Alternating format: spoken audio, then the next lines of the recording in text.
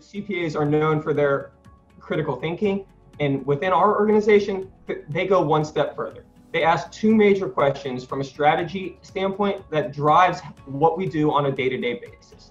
They ask us what's next and how can we do this better.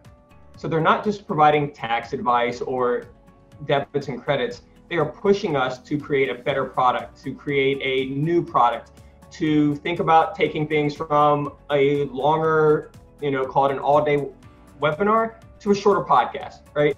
How can we meet people where they're at?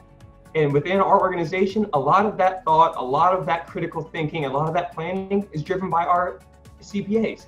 They are pushing us to determine what's the next step and then how can we do whatever we're already doing better. By by asking those two questions, they keep us grounded, they keep us focused on the future, and they keep us moving forward.